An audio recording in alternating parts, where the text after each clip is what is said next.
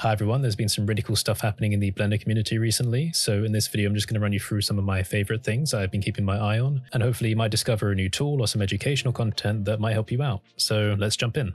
First of all, you might remember I did a video about the amazing Human Generator add-on for Blender, which is probably the most high-effort add-on I've ever seen for the software. It was very well received, there was a high demand for the add-on, so they've continued working on it. So they're currently working on version 2, which is in beta, and the beta files are accessible to everyone that has a copy of the add-on, so you can get that from your Blender Market downloads. Some new features which will be available in this new version include a FACS-based facial rig system, an experimental mode which lets you push values past their traditional limits, a texture switching system which lets you change the different types of textures, so there's uh, default and uncensored textures as well. So then there's a length change system for the body. You can scale different body parts independently. You can now hold control while switching through different tabs to keep the hair children enabled. So if you want to keep that preview running, you can. There's a new adaptive outfit and hair system, so it fits the bodies better. There's a new extras menu for different types of operations and saving presets. There's a texture baking system if you want to kind of export the textures for the character to any other software. You'll also be able to add modifiers without losing shape keys. You can save the creation phase human as the starting human,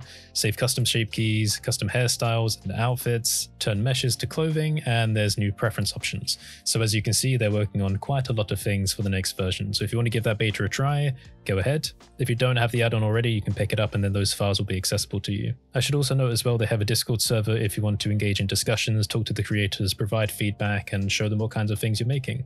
If you're interested in procedural material creation or the mathematics behind building shaders in Blender, then Charon from Just 3D Things has been working on a vector math masterclass. So their first video is out now, which is about basic vector math functions. When I was watching it, I was extremely impressed with the amount of effort that went into making this video because as he's explaining the different concepts behind vector math, there's so many visual demonstrations, some of which are animated as well. And I think he made some of those visual demonstrations with nodes as well. So it just goes to show that he really knows what he's talking about. So if you are interested in learning about how to build patterns, control textures, and build procedural materials and all sorts of other things using vector math in the Blender shader nodes, then please go and give it a watch because it's a brilliant video. And there will also be more coming in the future. Now, of course, with geometry nodes being such a hot topic in the Blender community right now, there are so many people doing all kinds of really cool demonstrations. One of my favorite creators that you'll probably know if you've been around on this channel for a while is BBBN19, and they tend to share a lot of their demonstrations on Gumroad. One of the recent ones, which I think is probably one of my favorites so far, is this kind of Lego assembly animation, and I'll probably put it up on the screen here as well.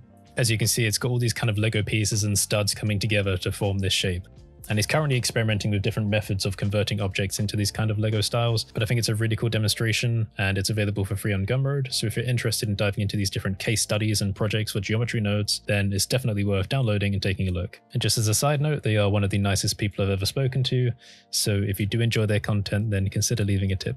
Speaking about geometry nodes, there's been some interesting scattering tools that have become available. So I'll first of all mention the G-Scatter add-on, which is from the creator of Graswald. What GScatter lets you do is basically make use of the Geometry Nodes toolset to scatter whatever objects you like around the scene. You can use your own custom objects or ones that are packaged with the add-on. It's entirely up to you, but it is free. And I think the add-on also serves a double purpose of being an advertisement for the full Graswald package, if you're interested in that kind of nature content. Unfortunately, I haven't been added to the affiliate list for Graswald yet, so we're going to move on to Scatter. So Scatter so Scatter is a fantastic toolset for bringing high-level scattering functionality to Blender. So these are features that may already be present in other 3D softwares, but the main aim of Scatter is to bring as much scattering functionality as is possible into Blender. And there really is just a crazy amount of features. If you take a look on their website, they have a kind of comprehensive manual and series of tutorials showing you kind of what you can do. There really is an impressive amount of functionality. But a key point I want to draw your attention to is they've been working on this manual distribution mode, which lets you kind of scatter objects around the scene again, so very similar tool. But they have so many different modes for doing this. I'm only showing a few of them in these images here, but there's a video breakdown that shows you all the different things you can do. I was very impressed with how this manual distribution mode lets you not only just like spray things into the scene, but there's also pressure sensitivity for tablets. Like, yeah, they went through the effort of putting that into it. There's a path brush as well, so if you want to do fencing and all kinds of other stuff. It's fantastic for scattering nature objects because there's this kind of object index attribute one, where if you wanted to change the type of object that was actually already scattered down, you can do that easily. So it's literally just like painting objects into your scene. So I think that would be fantastically useful for people. There is an open beta as well for Scatter 5, so if you want to give these features a try, you can do that. Go to the website, take a look, scroll down, have a look at the videos, explore all the features, and Scatter version 5, with a whole host of other features which I haven't already talked about, should be available at the beginning of November. Now, I don't want to fanboy over the add-on too much, but it really is fantastic for people doing like environments and landscape design because they have this really cool masking system where you can kind of isolate different areas of an object. So you have mask controls for altitude, slope, curvature, water flow, orientation, camera distance, culling. They even have like some kind of LOD system to simplify objects in the scene to make it more performant. Paint layer, Boolean, Bezier, sharpness, normal, vertex, colors, procedural, texture, shadow casting, particle proximity, object collision, Bezier, 2D area, UV image boundary. Can get edge and face data as well. And there's just so much more. They're going crazy with it. I genuinely can't keep up with the features. Literally, as I've been making and preparing this video, they've been showing off new features on Twitter. So if you're interested, give it a look.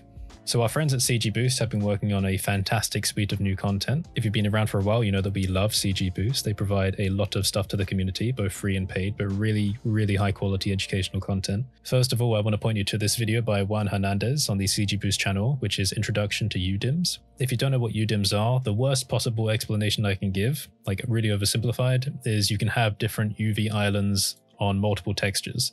So as you can see, you can kind of have like, you know, 8K textures on one part of the mesh, 4K textures on a different part, etc. It's quite a complex system. It's a really good thing to know about. And really this 20 minute-ish video will explain it in a much better way than I ever could. So it's definitely worth having a look. And of course, it's on YouTube, so it's completely free to watch. Martin Klekner, who has been working on the Master 3D Environments in Blender course, so this is a paid one, has added a new Arctic section to the course. So you can learn how to make these kind of really cool Arctic scenes. So the different sections of this chapter are Arctic reference images, creating the glacier base, skewing the glacier, sculpting the glacier, snow materials, ice materials, blending in transparency, adding translucent water, finishing the scene, rendering the Arctic scene, and Arctic scene compositing. So he really does go through every single step. On top of this, he has also added a new basic section to the course for anyone that already has it, talking about Node Wrangler, setting up HDRIs, camera clipping issues, more notes about shader nodes, particle setups, and rendering tips for heavy scenes. So I gave this course my high recommendation back in a video talking about how to make landscapes in Blender, and it's still at the very top of my list for the recommendation. So if you're interested in learning how to make landscapes, then Martin is definitely the person to go to. And you don't really need to take my word for it. All you need to do is just take a look at some of his other work and you'll know he knows exactly what he's talking about. So Zach, Zacharias Reinhardt, the person behind the Blender Launchpad course, has been working on this new Cubic Worlds course. This has been really fascinating to me because he's been working on this on and off for a while, and though I'm sure he would explain it in a very different way, the way that I would interpret this course is that it's a very different approach to learning Blender. Basically, he's showing you how you can make beautiful scenes and animations with low poly objects, so how to make environments and characters and all sorts of other things using a very cubic style. I think something fantastic about this is it goes to show that you don't need to be an expert modeler to make beautiful artwork. When you're limiting the detail you're putting into objects, it really gets you to focus on composition more. So I feel like there's a little bit of genius behind this course. So he'll show you how to make kind of beautiful scenes like this and how to animate them as well. There's different chapters available, but it is in early access, so there's more parts coming soon. For example, there's another part coming up which will talk about characters and machines and how to rig them and animate them. So this is a paid course. If you're interested in checking it out to see maybe a different approach to learning Blender and how to make artwork in Blender, then it's definitely worth checking out. Anyway, these are just a few things that I wanted to draw your attention to, things that I thought were really high quality and that you would be able to get some really good value out of, tools and educational content, free and paid. So if you do want to check them out, I'll leave the links below.